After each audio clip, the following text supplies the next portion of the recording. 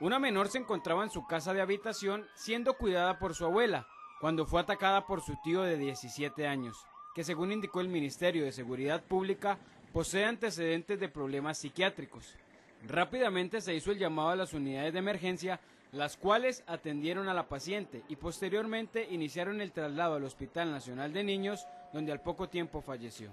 Los funcionarios del Patronato Nacional de la Infancia indicaron que lamentan profundamente el suceso y que analizarán la zona para ver si existe algún riesgo con los demás niños que viven en el lugar. Sí, las situaciones de maltrato que, son muy lamentables y muy dolorosas para todos y todas, ¿verdad?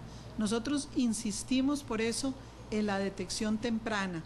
Si no se le da de la niña, pero si alguien se da cuenta que a una niña se le está golpeando, se le está lastimando, debe reportar esa situación para que la atajemos a tiempo. Vuelvo a insistir, este país tiene que pasarse de la idea de, de esperar a la denuncia para hacer la intervención cuando es oportuna.